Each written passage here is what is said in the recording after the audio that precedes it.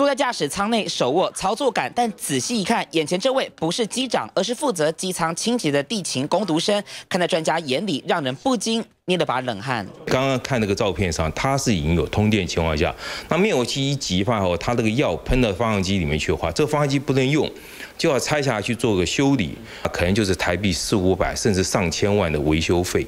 仔细看照片里，当时驾驶舱包含飞机导航系统已经打开，各项飞空仪表灯号也都亮起，包含节流阀、起落架、操纵杆都可以进行操作。专家说，飞机停在机坪上，通常已经通电，一旦不小心误触开关，就怕启动发电机而酿祸。如果推动一旁的油门杆，恐怕还会让飞机整架。撞进航下，但是如果说你推很大很大的马力情况下，飞机会往前冲。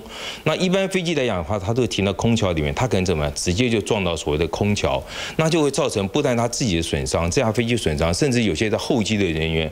地勤清洁人员都是像这样从空桥旁的扶梯进入机舱。根据了解，这架飞机是外籍航空公司的波音777客机，属于过夜班机，因为停放时间较长，才会在领班没注意下，让诚信工读生有机会进入机舱拍照。他他这种自拍行为，在本公司的 SOP 是规定是不许可啊，那本公司将会予以严厉的处分。